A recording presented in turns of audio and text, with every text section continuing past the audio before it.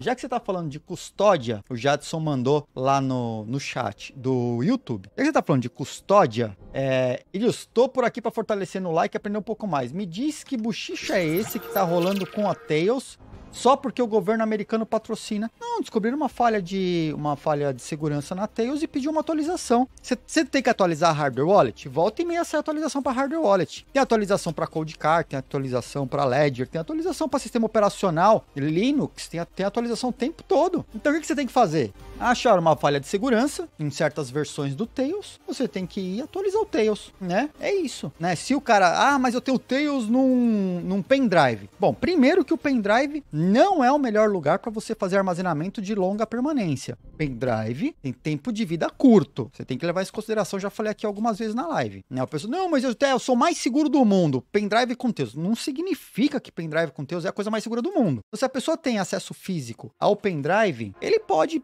porventura, eventualmente, conseguir, num Tails mais antigo que não esteja atualizado, pode conseguir extrair informação. É uma realidade. E aí o que você faz? Você vai atualiza o Tails, atualiza tudo e fica bem de novo. Né? Eu, é, muitas das pessoas, essa é uma realidade do nosso ecossistema, como, é da realidade das pessoas. Se a atualização não for automática, a galera não faz. Saca? Se a, se a atualização não for automática, a galera não faz. Só eu tenho uma atualização, faço depois. E atualização de segurança, cara, tem sempre. Não é porque o Tails que é, o Tails é seguro desde que esteja atualizado. A wallet é segura desde que esteja atualizada. O website é seguro desde que o sistema onde ele está rodando esteja atualizado. Seja o web server como o sistema operacional. Não adianta você falar, meu, meu Nginx está super atualizado, mas o sistema operacional, o SSH, não tá. Aí o cara vai, entra na sua máquina e acesso que você tem, né?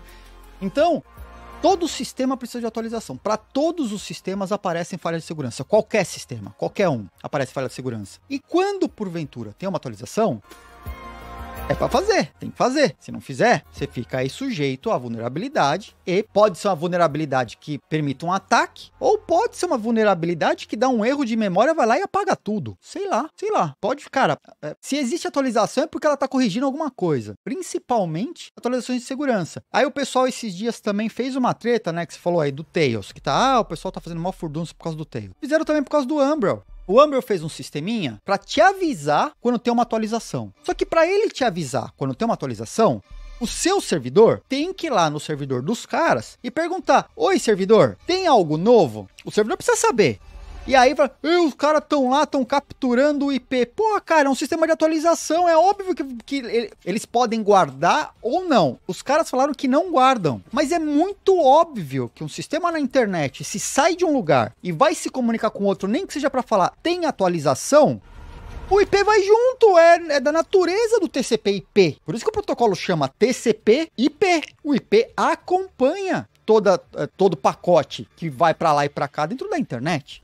E aí, a galera fez mó algazarra, porque os caras estão guardando o seu IP, não sei o que. Os caras falaram, cara, a gente não guarda o IP. Embora pudesse, porque o IP vem, a gente não guarda, a gente não faz nada com o IP, mas a gente precisa do IP por quê? Porque ele precisa mandar para você o pacote da sua máquina com o que precisa ser atualizado. A sua máquina vai lá no servidor dos caras e fala: olha, eu tenho isso, isso, isso aqui. Tem atualização para isso, isso, isso? Tem, tem atualização para isso, isso, isso. E é só isso que os caras fazem. E fizeram o maior furdúncio. Os caras que não, não entendem como funciona um sistema de atualização, né? Aí que tá. Se o Umbrel, o Umbrel não faz atualização sozinho, mas ele te avisa que tem uma atualização. Tá? Te avisa. Se avisando que tem atualização, a galera acha que é, acha ruim, se não avisar que tem atualização, a galera não vai fazer atualização. E se não, meu amigo, aí se não fizer a atualização do Umbrel e o maluco perde os Bitcoin porque a atualização não tinha sido feita, vai sobrar para quem?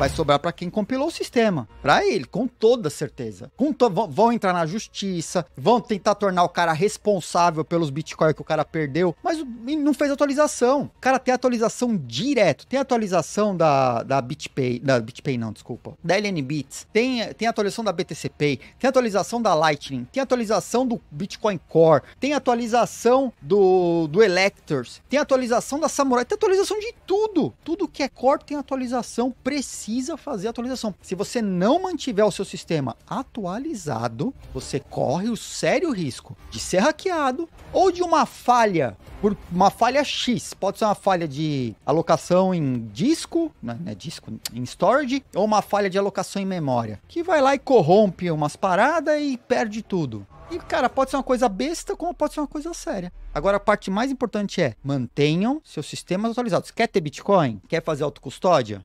Atualizado. Tem hardware wallet? Tem que estar tá atualizada. Tem é, Linux, wallet no Linux, Electron? Mantém atualizado, tá? Não corra o risco de ter um sistema desatualizado, e a maioria tem, a maioria deixa de lado as atualizações. Não deixem passar as atualizações, seja lá do que for, tá? Seja lá do que for. Você coloca todos os seus Bitcoin em risco pelo simples fato de não fazer uma atualização, né? Onde os seus Bitcoin estão guardados, tá? É isso, é isso, tá? É, é buchicho, é história, né?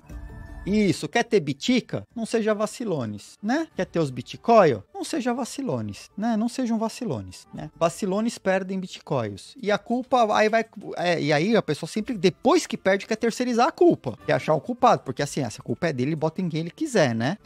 não é? Não faça sequinagem com você mesmo, né? Não faça sequinagem. Tá, tá saindo sequinagem, manda o sequinagem, né? Não faça sequinagem, não faça sequinagem, né? É isso aí. Thank you.